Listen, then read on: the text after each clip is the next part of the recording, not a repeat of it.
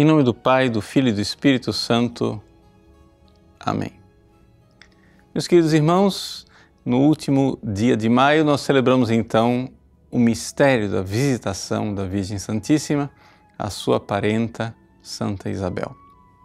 Nós, ao celebrarmos esse mistério, dentro da novena de Pentecostes, vemos ecoar no nosso coração aquela frase: Quando a saudação de Maria chegou a Isabel, ela ficou cheia do Espírito Santo. Meus irmãos, Maria, sem dúvida alguma, está intimamente ligada com a vinda do Espírito Santo.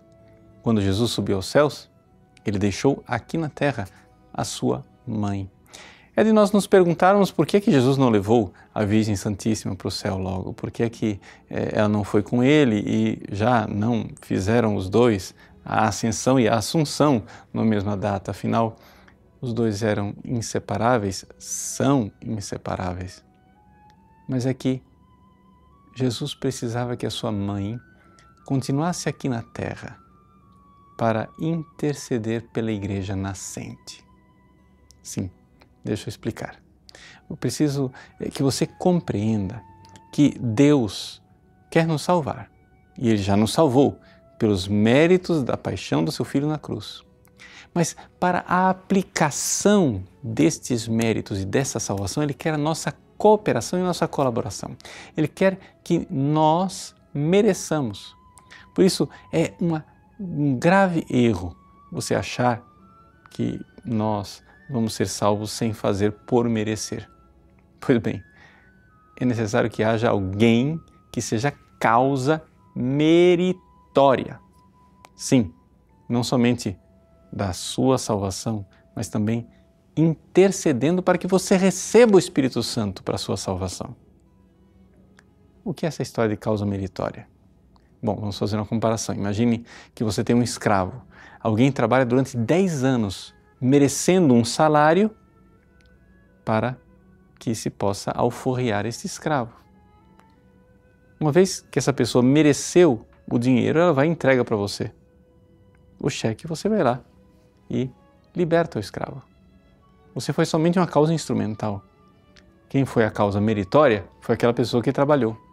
Pois bem, os apóstolos ficaram neste mundo para é, evangelizar, mas precisavam de alguém que fosse causa meritória e que continuasse se sacrificando, se entregando, intercedendo. E essa foi a Virgem Maria.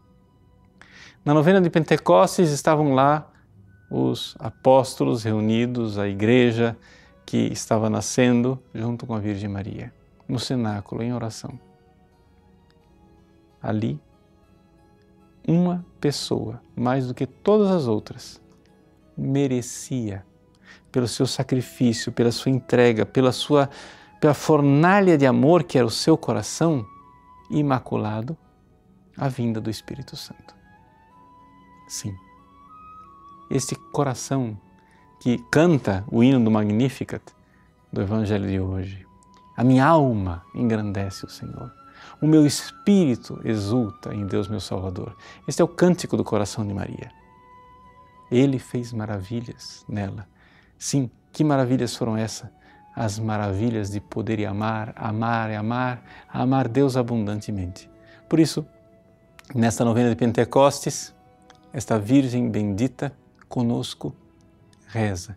Nós estamos no último dia do mês de Maria, neste ano de Maria, num dia de Maria, peça a Deus o Espírito Santo, junto com ela, ele certamente irá ouvir, porque, embora nossos méritos sejam pequenos para merecer a vinda do Espírito Santo, os méritos da Virgem Santíssima são enormes, são incomensuráveis. Seja dela, faça como Jesus fez com Maria e com o discípulo amado. Entregou Maria a Ele e Ele a Maria. Se entregue totalmente a ela, você verá.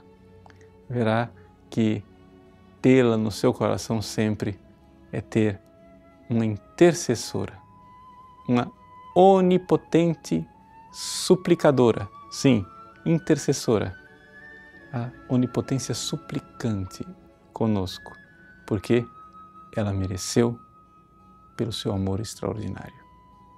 Deus abençoe você. Em nome do Pai, e do Filho e do Espírito Santo. Amém.